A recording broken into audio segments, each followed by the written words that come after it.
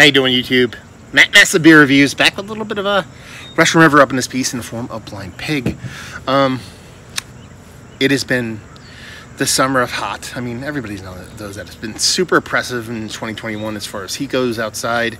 This is the first day that I can remember in a very, very long time that it actually didn't get to 80 degrees um, on a day. It's still hot. It's still in the high 70s, but it was comfortable enough, shady enough for me to come out and actually do an outside review. I love doing them.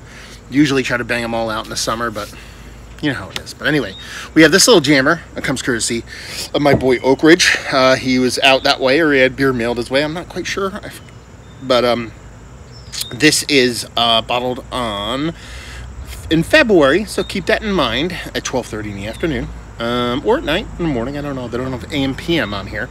Russian River Brewing Company, and this is a 6.525%. Blind Pig is a prohibition term for a speakeasy. Our very first brewery was named Blind Pig Brewing Company, which was located in Petaluma, California. It was here that we first fell in love with IPAs and hops. Our Blind Pig IPA is generously hopped with hints of citrus, woody notes, and lingering bitterness. Keep refrigerated and consume fresh to best enjoy this beer's intense hop character. Now, I'll post this one at the same time that I post um, the uh, Pliny review that um, Oak Ridge actually gave me too.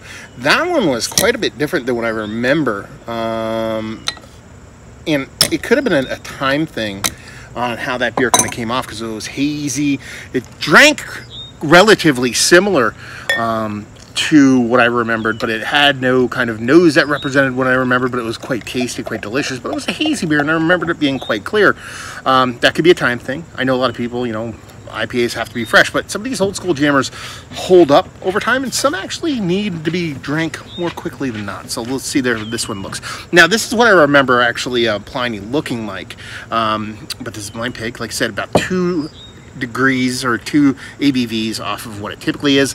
Uh, label-wise, it's cool. I mean, it's not even a good label. It's just kind of old school and just kind of romantic, so I like it. Uh, Beer-wise, story time, more story time. Let's make this review nine miles long.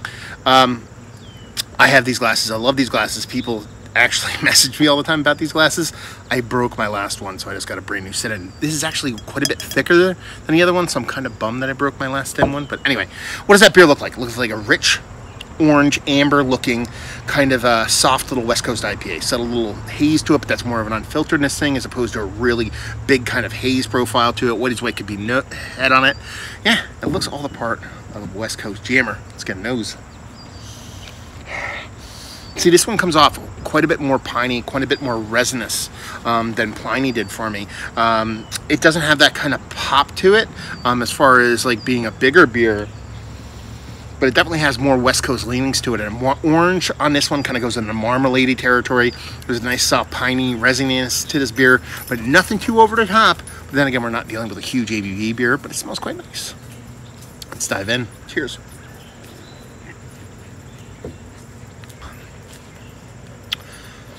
ah, a super crusher status here. I mean, it is like giving you kind of like it's not. I was going to say it's kind of like a, a more muted, a smaller version of Pliny. Actually, is nothing like that. Um, it does have some of the hot, same kind of hot presence in it, but the way that orange comes off on the um, on Pliny, it came off a little bit more kind of new school uh, kind of uh, juiciness to it. This one's, like I said, a bit more marmalade not hard candy, but a little bit kind of sweetened orange. The bittering on here comes off probably a little bit more piney than resinous, but there is this kind of icky, sticky weed thing that comes through it too, so I dig that. Mouthfeel's what I really expect from like a classic West Coast kind of IPA. Even though this has this haze to it, it drinks almost squeaky clean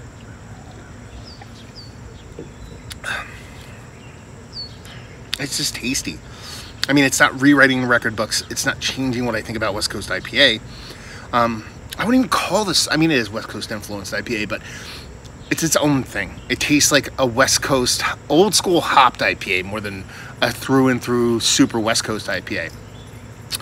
More pale ale than anything else rather than an actual IPA. That's kind of how it comes off for me. Bum, bum, bum, bum, bum. Yeah. I dig it. I think it's fun. I think it's tasty. It's a perfect beer for crushing outdoors. I'm sitting outdoors. You do the math. And really tasty stuff. It's been a fun little journey going through these two Russian River beers because even though I've had this one, I think once or twice before, but I've had Pliny quite a few times. They were different than what I remember and expected, but not in a negative way. Um, I wouldn't say in an overtly positive way either. It was kind of a lateral move, but it was it was just going back and revisiting and, and being able to actually review them because I'm blown away that I haven't ever reviewed Pliny, let alone this before.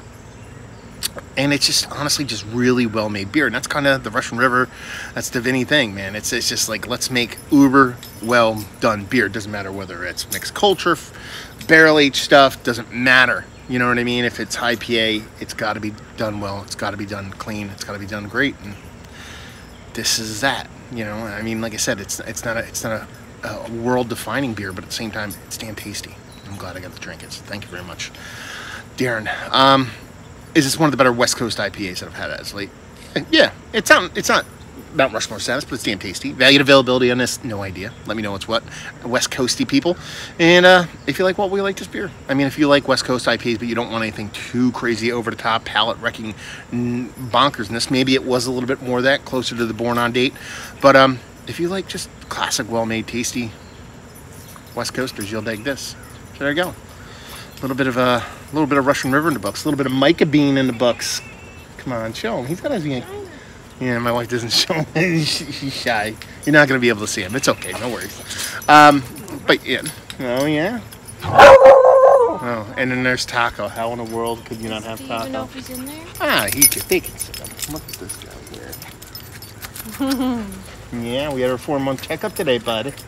Yeah, you took it like a champ. Such a big boy. I love you. Love you. Hungry. Yeah. Um, yeah, let me know what you think of this one. Um, Massive Beers, if you want to check me out doing the social media stuff, Beer Massif, if you want to check me out doing the whole podcasting thing. Hopefully, you guys enjoyed the review. Hopefully, enjoying a little bit of Russian River right now. Hope to see you next time. Cheers.